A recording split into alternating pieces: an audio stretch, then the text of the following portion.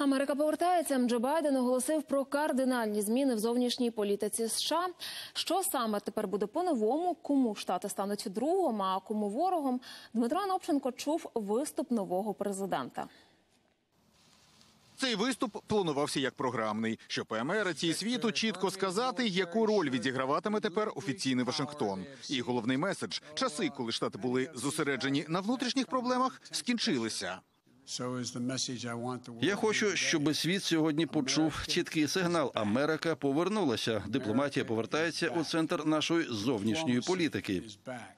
Байден обіцяє відновити лідерські позиції Америки у світі і зміцнити альянси із союзниками штатів. Маємо відновити нашу надійність і моральний авторитет, які у більшості своїй були втрачені. А також чітко назвав, кого він вважає суперниками і навіть ворогами, згадавши всього дві країни Китай і Росію, і сказавши, що вони націлені на суперництво зі штатами і на те, щоб шкодити американській демократії. Я дуже чітко дав зрозуміти президенту Путіну, і це суттєво відрізняється від стилю мого попередника. Щодні, коли США спостерігали за агресивними діями Росії, втручаннями в наші вибори, отруєнням її громадян скінчилися. Ми без вагань збільшимо ціну таких дій для Росії і захистимо наші національні інтереси і наших людей.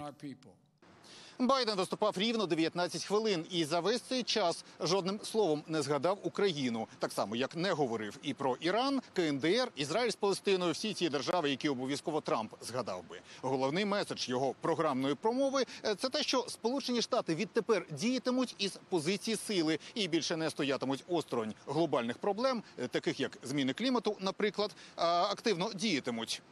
Для цього Байден підписує низку указів, збільшує роль Радбезу і значно розширює його штат, реформує структури, що займаються нацбезпекою. А ще декларує відновлення Сполученими Штатами, як сформулювали це у Білому домі, свого місця на світовій арені, маючи на увазі, що часи ізоляціонізму в минулому і від сьогодні стратегію і політику визначатимуть з Вашингтона.